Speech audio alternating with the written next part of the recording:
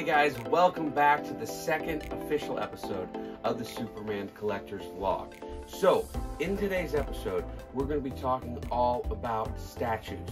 So, in the last episode, we talked about some of the older stuff in my collection, the 1940s stuff. So, if you haven't checked it out, make sure you do and make sure you subscribe to this channel.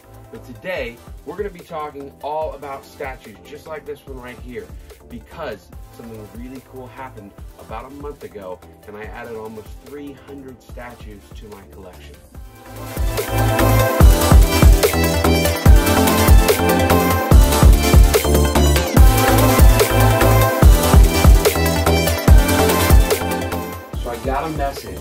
Friend of mine on Facebook, huge statue collector in the Superman community, but he told me it was time to sell and it was time to move on. So the catch was, it was about a seven hour drive from my house.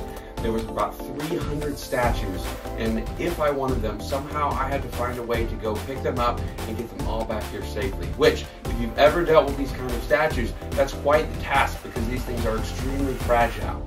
But I did it. I rented a 15 foot U-Haul, woke up at 4 in the morning, got on the road, made a 14 hour round trip, and loaded that U-Haul literally from the very floor to the very ceiling and got them all back. Honestly, I was kind of shocked because out of everything, only two little pieces of statues broke.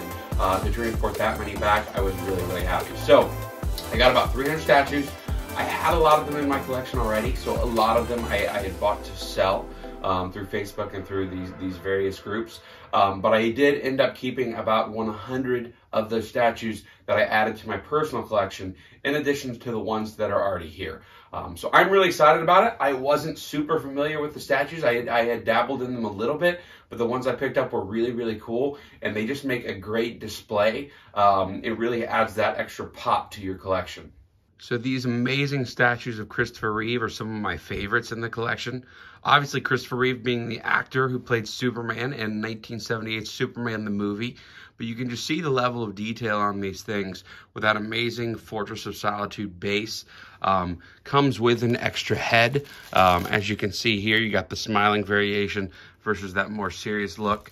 Um, but this, as far as I know, is a custom piece, really, really cool. And then you have the more widely available Sideshow uh, premium format piece there. And then you got a little smaller piece over here, the Iron Studios Superman uh, standing on the flagpole.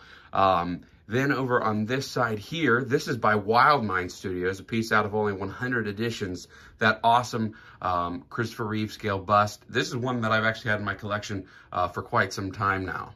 Guys, this is one of my favorite statues in the entire collection, and let me tell you why. So, the Warner Brothers store, um, some uh, some of you that name is ring, ringing some bells there. The Warner Brothers Studio store put out this extremely limited edition bronze statue. Um, it's numbered out of 150 editions, but Many people think quite a few less than that were actually made. Um, I've heard numbers as low as 50 of these things actually made it into production. Um, but what's really cool about this, I had one in my collection, but when I bought these most recent statues, um, I realized something special about this one. This one is the number one numbered statue out of the whole bunch. This uniquely styled series with the uh, granite bases is made by an artist named Ron Lee.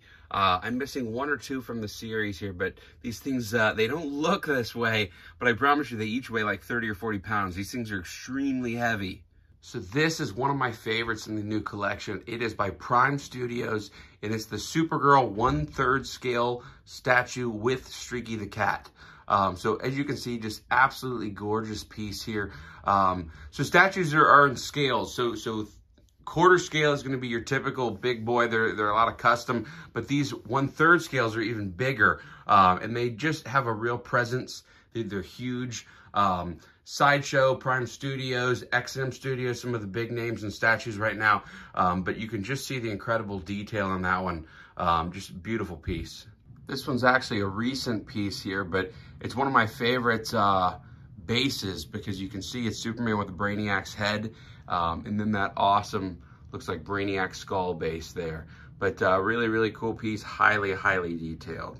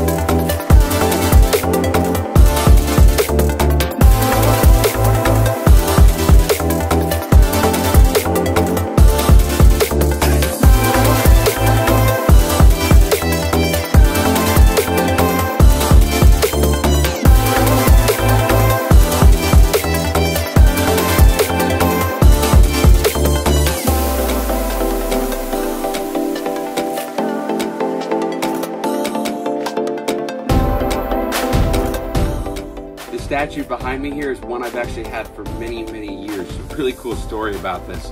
Uh, a friend of mine shot me a text message. Uh, he lives out in Muncie, Indiana, which is about two hours from here.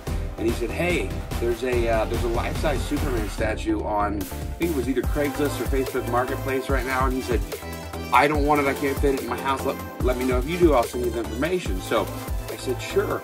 Um, so this was back when I was in college. So it was actually from where we were, it was about three and a half hours away. So after classes one day, uh, my wife and I got in the car. We drove out to Muncie, Indiana. It was like out of a movie with all those giant windmills across this field as we got closer and closer to this house. But we pulled in, and sure enough, there he was um, in several pieces, and we loaded him into this rental minivan. Apparently, the story was um, this guy had gotten him in a skateboard collection. I don't know what he was doing with a, uh, a collection of skateboards all those years, um, but I was certainly thrilled to have him. So we packed him up, loaded him up, brought him back into my apartment that time, again, as I was finishing school. Um, and he's uh, been proudly in the collection ever since. So those, again, are just a few of my favorites on display right now. Um, but I still have an entire extra bedroom full of statues that I'm still selling from the collection um, and an entire storage room of statues that I'm keeping that I don't really have room to put on display right now. Uh, but but as you can see, statues are really, really cool. They make an awesome display piece. Um, they're, they're fairly easy to get if you get them when they're first available. The price does tend to go up pretty quickly after they retire. Um, so if you see one you like, make the purchase. It'll be worth it, I promise. But guys, thanks again so much for watching episode two of the Superman Collectors Vlog. Please, please, please make sure you are subscribed to this channel. I have so much cool stuff to show you, and I don't want you to miss a thing. Plus, when you subscribe and like this video and add a comment, it helps show this video to other fans out on YouTube.